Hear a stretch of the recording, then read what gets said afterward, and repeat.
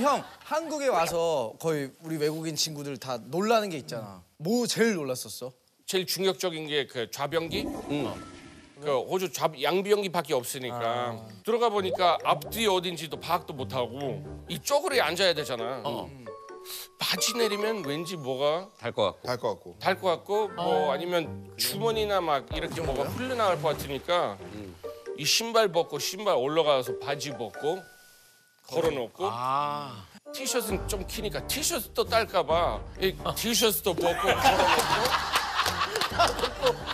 정말 이거 잘못 맞으면 팬티도 버려야 될 판인데 팬티도 벗고 막. 이 다 걸어놓고. 사업까지 하고 나오지 그랬어요. 내가 좀 오래 걸려다 보니까 여자친구 올라가지고 무슨 일이냐고 옷 다 그렇게 걸치는 거 보고 또 또 그런 사건이 또 벌어졌지.